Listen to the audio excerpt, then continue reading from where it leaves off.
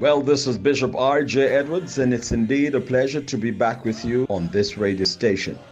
I know that you're going through your tests and your trials at this time when COVID 19, the master plague, is on the land. I want you to know that God will lift you up, turn your life around in spite of what we see. God is with us. The God of Jacob is our refuge. Stay tuned as I go to church. I've been preaching the word of God. Second Kings chapter 5, starting from verse 1. Now Naaman, who is the captain of the host of the king of Syria, is a great man with his master, and honorable because of him the Lord had given deliverance unto Syria. He was also a mighty man in valor. He was a leper. Now, there are some truths that you will find in this word on today that I'd like to open your mind to. The story is a very profound one because it spoke of Naaman, but he had a problem. Some of you are in your home and you're having your beautiful television set. Some of you in your home and you're sleeping on your divan mattress. There are some of you who have water beds. Some of you room is so big that a hundred persons could sleep in there at one time and have good space. Some of you you have food on your table. Some of you you have little money in the bank. But amidst all of what you have, there is a major problem that you're faced with. Bible here says the captain of the host of the king of Syria, captain, man in charge of the army.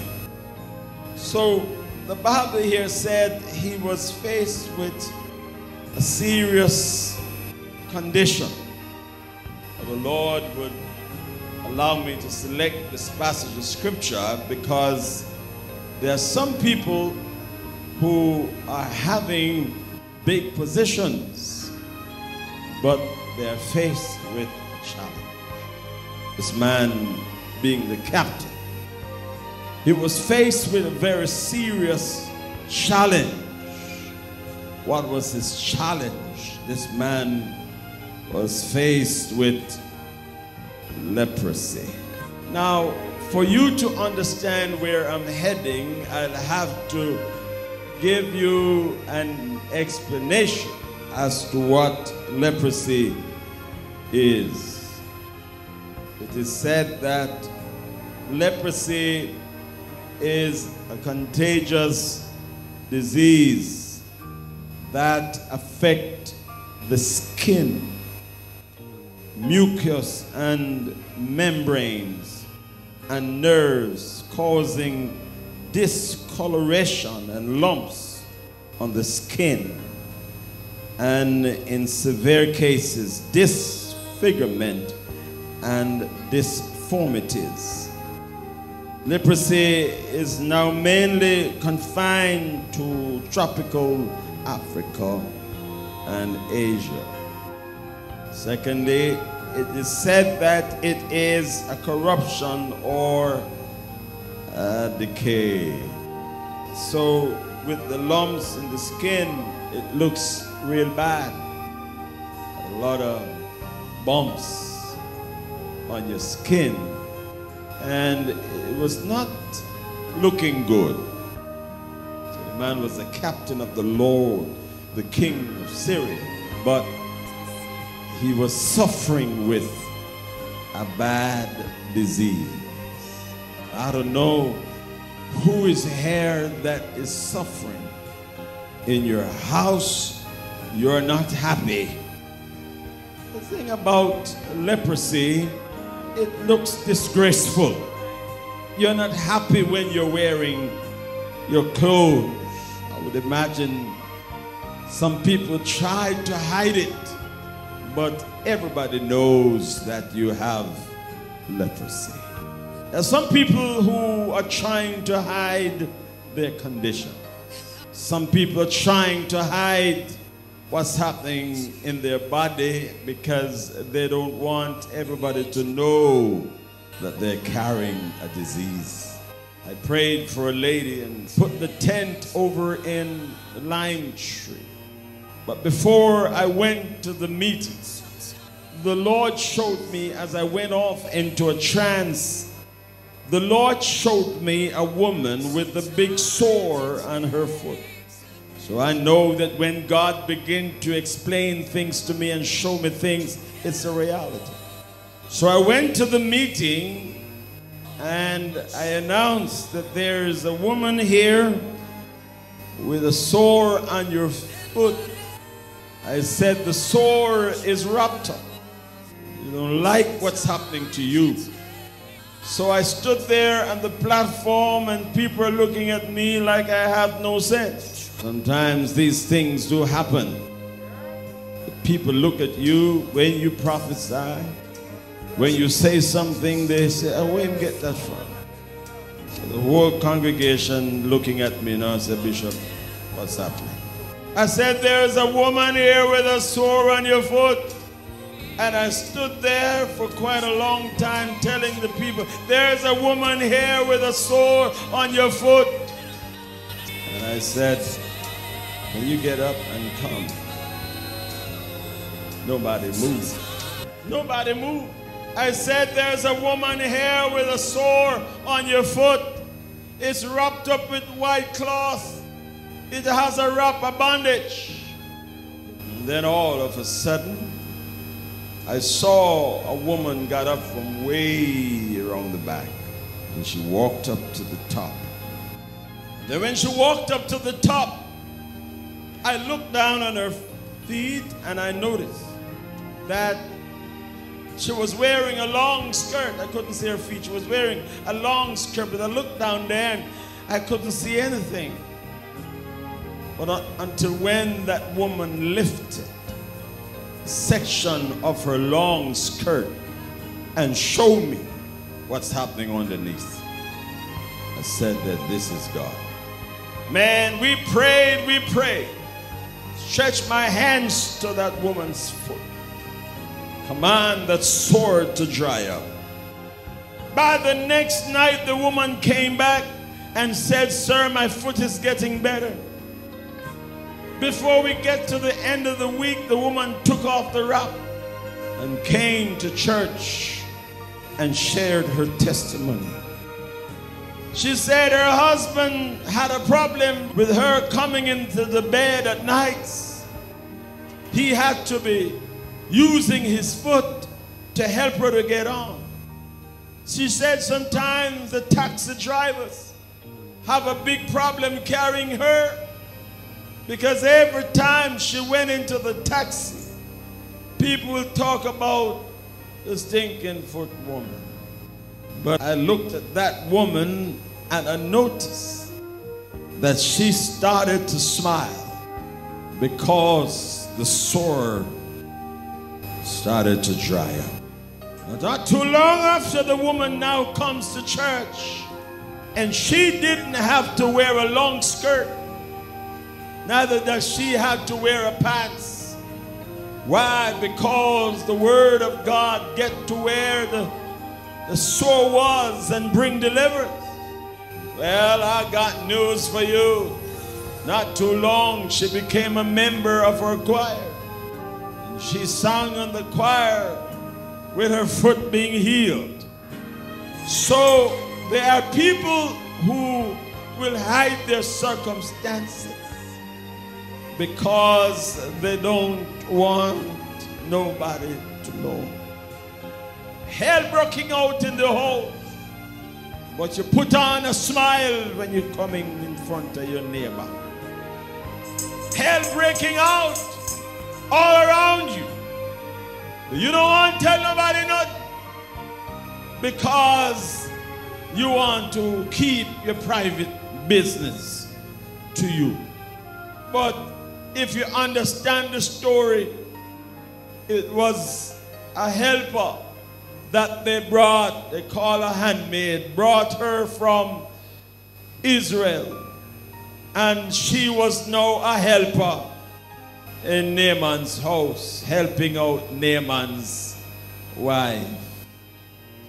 I want you to understand that this woman who was working with Naaman, she saw something and she hears something. You know, that God can use some simple people who can lay their hands on people and see deliverance, who can step out in the midst of their crisis and see God do something. Come on. I don't want you to take this simple today because I sense that God is going to do something in the midst. Somebody tell you to come out of a place down so and you come. Somebody advise you and tell you say if you come to church, your life is going to be changed. Some of you advice that you receive is that the power of God is working. And like to go to a church where the power of God is working and the anointing is making a difference. I like that. So the woman just drop a word. I drop, she drop a word, you know. And somebody heard what she said. She said, I wish there was prophet over here because she knows that there are prophets in Israel.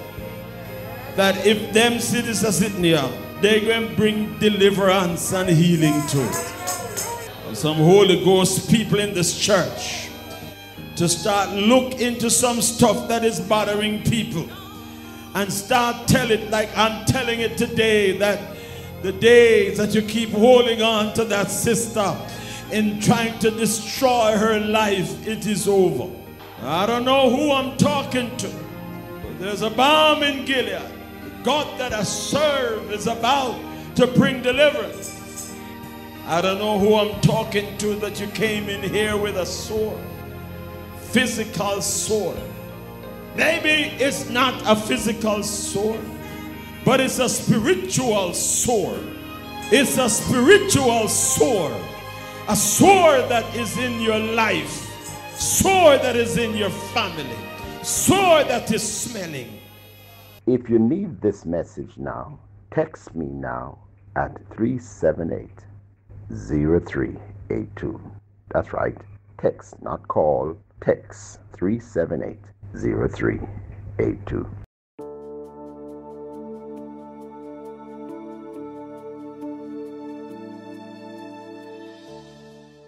The mark of the beast is on us. I have the book that I'm promoting, the book that says, Say No to That Mark by Pastor Leighton D. Smith. Hear me. Every one of you need to get this book. Leighton Smith was a good friend of mine, and he wrote this book. Look at some of the other topics that are in the book the emergence of the one world government, the European Union, secret organizations promoting the New World Order, the coming caste society, the century of the chip, the significance of numbers in the Bible. Don't compromise. Say No to the Mark book is now available at Source of Light, and that's at Hagley Park Plaza in Halfway Tree, or can be picked up at the Lighthouse Assembly Church Office, 1 Garbally Drive, Spanish Town.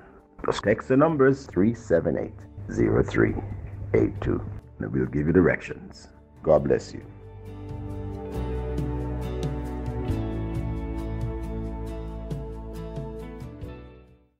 Some of you are so disgraced. I don't want nobody to know what going but God pick it up. You don't want nobody to know what is happening to you, but Holy Ghost I pick it up. Some of you come here under a disguise. People don't know what's happening to you, but Holy Ghost picked up. And God says you got to be delivered today. Come on, come on, come on. I wonder If somebody is understanding that the Holy Ghost is strong in this church, there's a strong anointing that is going through the seats in this church. Come on, Holy Ghost is under your seat. Holy Ghost is around your seat, and all you got to do is say, Have your way. It's like a stench in your family because you pick them just turn bad. You give others the sunshine. And you tell Jesus to rest. So your spouse in your house just get bad. You don't want nobody to know. Still wear a married ring, but not now God. You wear a married ring because you want to take the shame out of your face. Because people know say you're married, but your husband is in your house, but he's dead. That's what's happening to some women. They're wearing their ring, but not now go on a house. And I'm talking to you, woman of dignity. You're highly respected. But you marry a man when not say one thing. Him dead in every way. No have nothing. Can't help you. Oh, and you must not just keep the thing to yourself, you know, because when you're going through something, I want to keep it to yourself. I'm messing up on yourself. Because it start get into your head and start making you lose in the mind. Find somebody who you can talk to. Find somebody who you can relate to. Because I know a God who knows how to resurrect things. I don't care how dead him is. Some people don't know what going on at the house, you know. People don't have no clue as to what going on at yard. The yard lack happiness. And you never married for this. You look upon a situation. I'm seeing a situation right now. The man don't have no respect. Yet everything about him dead. Not a provider. You're not getting nothing from him. But I'm saying that God is here on today to bring back life. I like people come to church and talk the truth. Must talk the truth. So things now going well a yard and you need help. Even if you haven't put up your hand halfway. There was a woman in our church and she had a problem with her husband. Everything was dead. Woman wanted a child, but everything dead. And so the Lord allowed me one day to be preaching in a Sunday morning service. Place was charged with the glory. I had some blocks on the platform. I was doing a week of meeting where I've been teaching about Jericho walls must fall. And at the last day, the last Sunday, the last day of the meeting, I said, No, it's time to drop the wall and show how wall can drop flat. So it was that the woman, after the anointing come into place and me kick down the wall on the platform. Woman start feel the Holy Ghost. And she jump out the place until her slippers them drop off her feet. She was having a grand time in the presence of the Lord.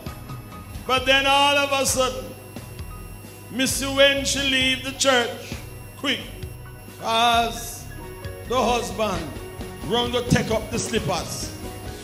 And both of them leave the church quick. But not long after, the lady came back with the baby and she took the mic and shared her testimony that that Sunday morning when I kicked down the Jericho wall, something gained life. So she said she and her husband leave church quick. Her life came back to the shop. I know a God who knows how to give life. He is the resurrection and the life. That's what the Bible say. I mean, I make it up, you know. He is the resurrection and the life. And I heard him say, though he may dead, though he he shall live. I don't know who I'm talking to. There's a balm in Gilead that can walk into any marriage. Husband asleep up at the bed top and the woman down asleep down on the bottom of the bed. I'm telling you, it's not of God. God can slip in there and fix it. Children behaving bad and hell broke out. Enough fighting, enough fussing, enough cussing at the same time. No food in the house. I want God to do something.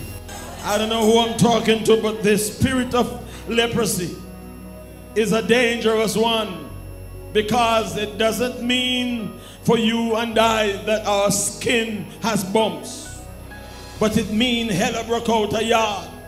The spirit of darkness is raging. But the anointing today shall destroy the yoke and set the captives free. If you need this message now, text me now at 378 0382. That's right. Text, not call. Text 378 0382. There are many people who have testified about the teachings of Bishop R.J. Edwards. They speak of how much his teachings has been a blessing to them. If you need this message in its entirety, text me, not call, please. Text me at 378 0382. That's 378 0382. It will be sent to you via WhatsApp at no cost or email us at lighthousechurch2016 at gmail.com. Just say, I need this message played on which date you've heard it and on which station. Join us for our power packed fasting service every Wednesday at the train station in Spanish Town at 9 a.m. For our Sunday morning services, there will be three services at train station 7 a.m. and at Garbally Drive 9 a.m. and also 10:15 a.m. A blessing is awaiting you.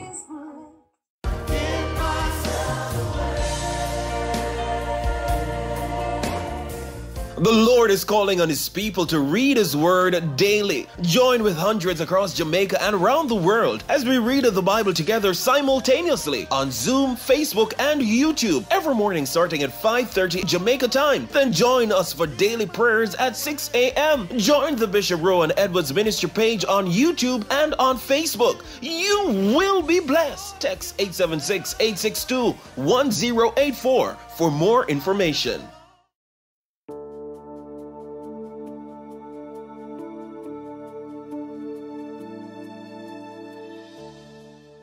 The mark of the beast is on us.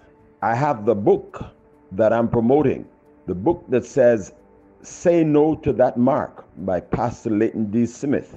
Hear me. Every one of you need to get this book. Leighton Smith was a good friend of mine, and he wrote this book.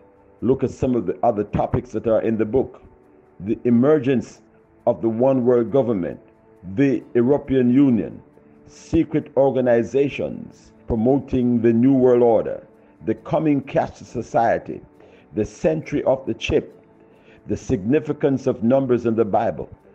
Don't compromise. Say No to the Mark book is now available at Source of Light, and that's at Hagley Park Plaza in Halfway Tree, or can be picked up at the Lighthouse Assembly Church Office, 1 Garbally Drive, Spanish Town. Just text the numbers 378 0382 and we'll give you directions.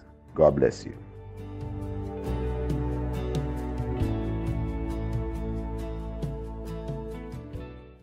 This is Bishop R.J. Edwards, and I'm here to let you know that God is doing a new thing at our fasting and prayer service here in Spanish Town every Wednesday. The power of God in operation. Are you sick? Are you oppressed?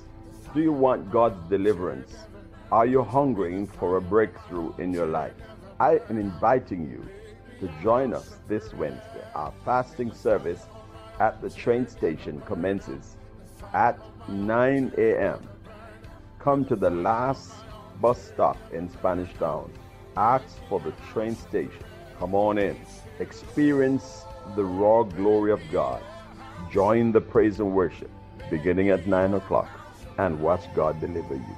Please also note that you could go on Facebook every morning at 6 o'clock. I pray for people every morning, 6 a.m. on Facebook. My Facebook page is Bishop Rowan Edwards Ministry. Bishop R O W A N Ministry. Come on out. Join me every morning, 6 a.m. for prayer. When you do, God will deliver you. 6 a.m. every morning on Facebook. God bless you. This is Bishop R.J. Edwards reminding you that every morning at 6 a.m. I am on Zoom, Facebook, and YouTube. Come to my YouTube page at Bishop Rowan Edwards Ministry. That's Bishop R O W A N Ministry. Big things are happening in our prayer meeting. People from around the world comes together every morning at 6 a.m. Please join me. YouTube, Facebook, and Zoom. Bishop Rowan Edwards Ministry. Just go find that page now. R O W A N. Bishop Rowan Edwards Ministry page. Please, I'm waiting to see you on one of these pages. This is Bishop R.J. Edwards saying goodbye. I'm checking out now.